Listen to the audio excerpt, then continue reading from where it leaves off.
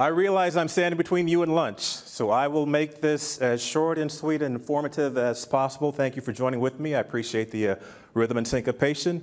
We're going to talk about where we are with NGMM Phase Zero, which was started last, well, technically got started when we released the BAA. Uh, we got everyone under contract recently, and so I'll be talking to you about where we are, what we're doing, more importantly, where we plan on going uh, as we move into Phase One. So one of the things I want to start off with is the importance of perspective, which is kind of how we view the world. Some of you, well, many of you, don't take that personally, are old enough to remember this cover from the New Yorker. And this was back in uh, my junior year of high school, okay? But it showed the view from 9th Avenue and you see the Hudson River and you see there's like Jersey and Texas and Chicago and California and the Pacific Ocean and other countries. At DARPA, we have a similar kind of thing where you see the Potomac River. Some would also see the Mississippi River um, crossing into the land of all of you, who are the ones that help us do the things that we need to do. So we've got the DoD labs, we have the Defense Industrial Base, Department of Energy, intelligence community, other government agencies, too numerous to list, but you're all a part of this ecosystem, SMEs and academia, and all keeping us afloat in the Heilmeier Ocean. So again, we thank you, but we recognize that without you, we don't push the technology that we need to push because your inputs, your expertise, help us to move forward. So as Mark mentioned earlier, we are at a point of manufacturing inflection. And please keep in mind that it's these manufacturing capabilities that have allowed us to move forward. Manufacturing is a foundation, great ideas, great you know, thoughts. Yeah, this is conceivable. Uh, if I can believe and conceive it, I can do it. However, if I can't make it, then I don't get the full benefit. So what we have now is primarily 2D, 2.5D, monolithic integration, primarily silicon, and packaged after fabrication. Where we at DARPA believe that we're moving to is 3D, and I'll also say 3.5D, where you combine stacking with interposers to again bring you different aspects, different capabilities, different ways of putting all these things together. We're looking at disaggregation.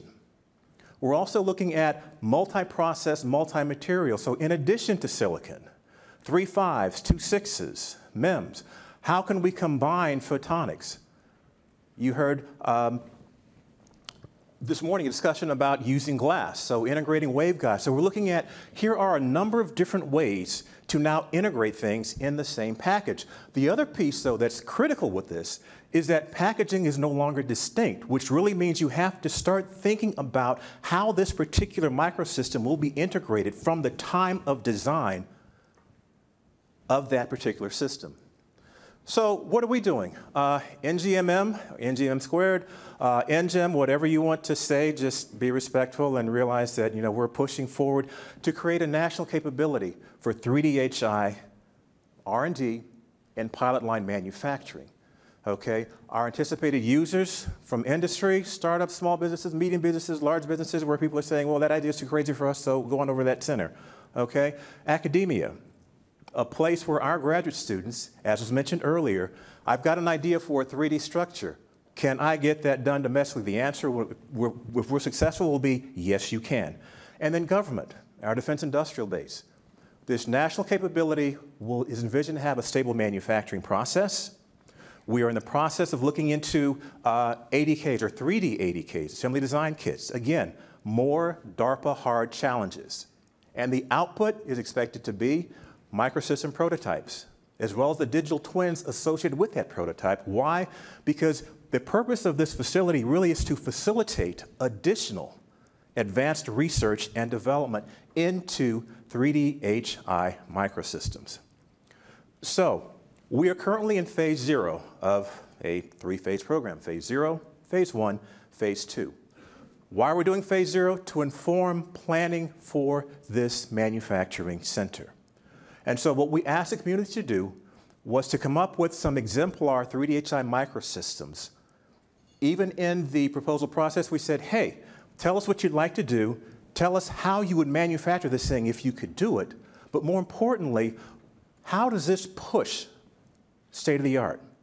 What's the, shall I say, DARPA factor of two, factor of five, order of magnitude, improvement in whatever parameter of your choice, okay? Then after that, provide a detailed analytical report about that microsystem. What does the layout look like? What does the, give, give us a block diagram, okay? If you're going to make this, and if you're going to test this and do the verification validation, what tools and equipment and processes and all those other things will you need in order to do that? We also ask for recommendations about one of the number one bugaboos, IP. Both looking at the IP of the microsystem itself, as well as any IP required to do the testing, to do the manufacturing. Because as we all know that have been involved with manufacturing, I spent a number of years at Hewlett Packard, that expertise is key to how we do this. So for phase zero, we selected 11 teams. You can see the, the breakdown. Uh, and they are currently defining and going through the process for these microsystems. The overall program structure is shown here, where phase one will be to establish the center. We recently released an RFI basically saying, hey, we would like to do this. We'd like your input on how to do this. Looking at certain aspects of manufacturing. If you're talking about doing multiple materials, if I've got gallium arsenide and Mercadtel, in addition to silicon and GaN and silicon carbide, what are some of the things I need to think about if I'm going to do that type of integration in the same package? What are the issues in terms of um, the, the, layout of the facility itself? If I want to do dense interconnects, what do I need to do? If I want to create an equivalent of an automated material handling system, so that I increase the amount of automation in that back-end process. How do I establish equitable access for users that want to do it? And again, IP, IP, IP, and IP. And did I say IP? Did I mention IP is going to be important? Okay. Again, so with where we're going with phase one, phase two, phase one, establish the center, phase two, qualify and operationalize it. And what we really want to do is bring this to what we're going to call pilot line capability. Not quite full production, but also a step above just creating prototypes.